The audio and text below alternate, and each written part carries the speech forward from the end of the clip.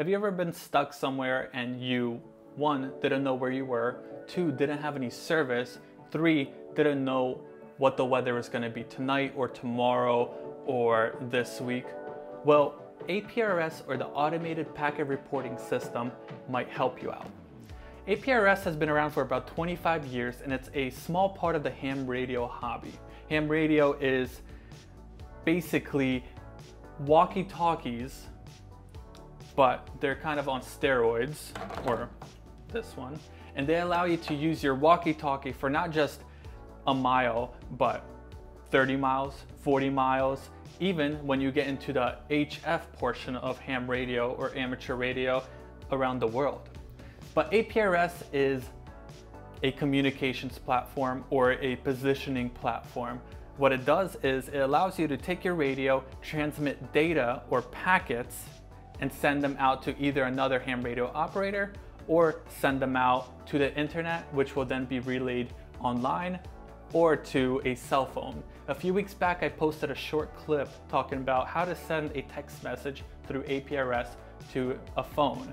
And it's gotten around 70,000 views on TikToks and I think 2,000 views on YouTube. And one thing that it taught me is that a lot of people don't know what ham radio is, which is great. That means that this hobby can grow to a lot of people. But the other thing that it taught me is a lot of people are not prepared for everyday life things or for disaster.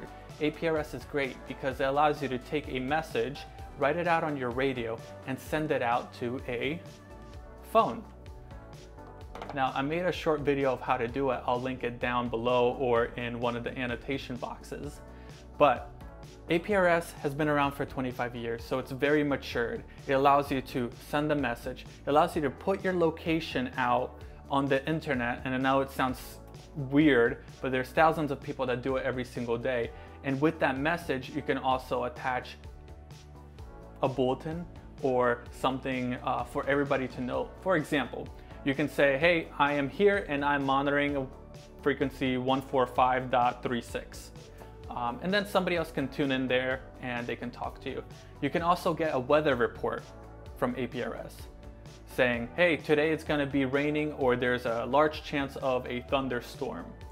Then you can also send your location to your loved one. For example, you can go and say, SMS gate as your subject, at the phone number, and then hashtag or pound map me. It will take your current location through your radio and send it to somebody else or to a loved one, whoever the phone recipient is, and they'll know exactly where you are. Extremely useful if you don't have any service. Now picture this, you are stuck in a hurricane, you no longer have service, and you can't reach anybody, but you know that you have families in Pennsylvania, for example, that are worried about you.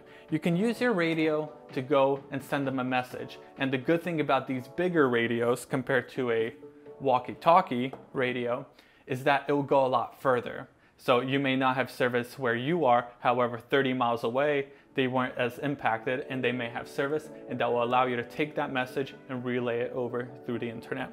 Now, what radios can you use? With me today, I have three radios to show you. This is a cheap walkie-talkie that you can buy from Walmart. It will go about a mile on a very good day. Very unlikely. It's good to talk to your neighbors with it. This is a Yaesu VX6. It's an amazing radio. It's the one that I carry with me everywhere I go. However, it is not APRS compatible. And this is a Yaesu FTM 400. It comes with APRS built in along with a GPS receiver. Now that's very important so you can send your location. So I can't say that you can use any radio with APRS. However, if you have the right adapter, for example, the DigiRig adapter, you'll be able to connect your radio, your ham radio, to this adapter, then to your computer, and from there you can run a program that will send and receive messages. So if you have any questions, feel free to reach out to me in the comments or find me on TikTok or Instagram. Links are down below and I'd love to answer your questions. If you have a video request for me regarding emergency communications, preparedness, or really anything, I'd love to talk to you or I'd love to make a video about it. Thank you for watching. If you like this video, please consider subscribing. Have a great day.